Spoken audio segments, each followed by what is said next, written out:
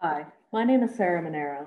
A few years ago, I had the opportunity to play a bit part in the establishment of the United States Space Force and the reestablishment of the United States Space Command. I was the staff director for the Strategic Forces Subcommittee in the House of Representatives in both the majority and the minority.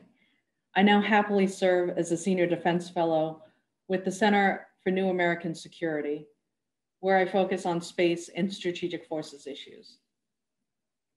Let me say thank you to the Secure World Foundation for having me to talk a little bit about Space Force, how it happened, and where it can go in the future.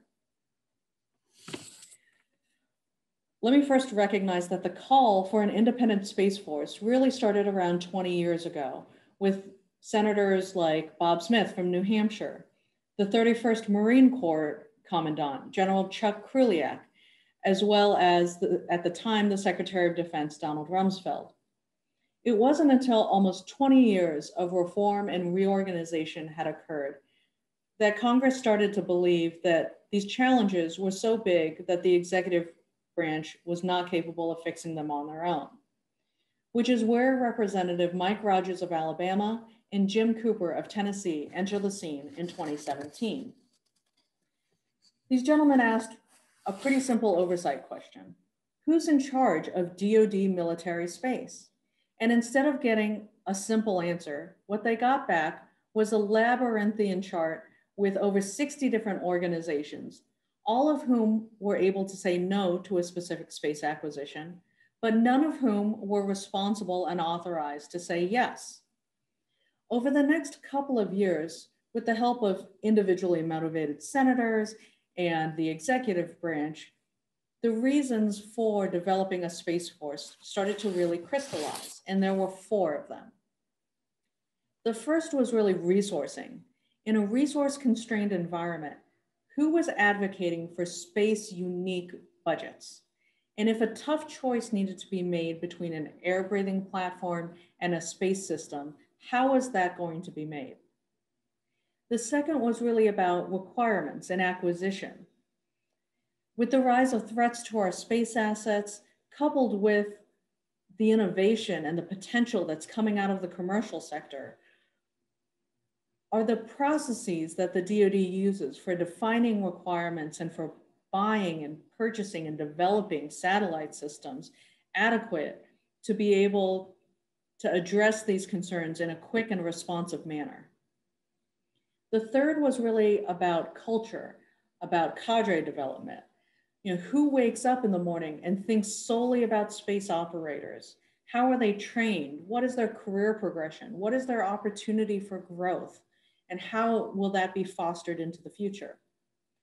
And lastly, with the recognition that space was a warfighting domain, how did this fundamentally change how terrestrial operations would be executed and how future warfighting concepts would be developed. Space Force is still less than two years old. They've made consistent progress in addressing all four of these issues, and I anticipate that they will continue to do so. In general, I think Space Force would be well served by going back and looking at those first four issues or challenges that were identified by Congress in the establishment of Space Force and the reestablishment of Space Command. I think they need to build honest and transparent relationships with their oversight committees and have the courage to shape their own destiny. And this is important because it's not just some science fiction kind of trope. It's about recognizing that Space Force has the opportunity not only to make history, but to shape the future and it does this by prioritizing space resources, by choosing winners in the private sector, by making big bets on advanced technology, and by challenging legacy architectures that have been with us since the Cold War. In this way, Space Force gets to define itself in other ways the services only wish they could.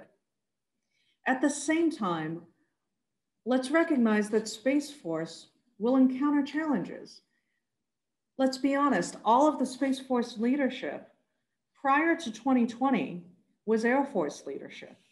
And so, as an individual, it's now up to them who were raised in Air Force culture to navigate these challenging incremental, incremental steps towards independence. Let's recognize how personally and professionally challenging that will be for them. Nonetheless, it is their responsibility not only to change how they were taught to think about space, but to make demonstrably different decisions about how they acquire and operate space systems. I'm really loath to talk and perpetuate Star Trek references when talking about Space Force, and I've been counseled plenty of times not to do it. Um, I'm actually gonna kind of open the, the aperture a little bit here. If I had to give guiding advice to the Space Force, I would probably quote um, Mae Jemison, one of our NASA astronauts. Never limit yourself because of others' limited imagination. Never limit others because of your limited imagination. Thanks for having me, and I hope you have a wonderful conference.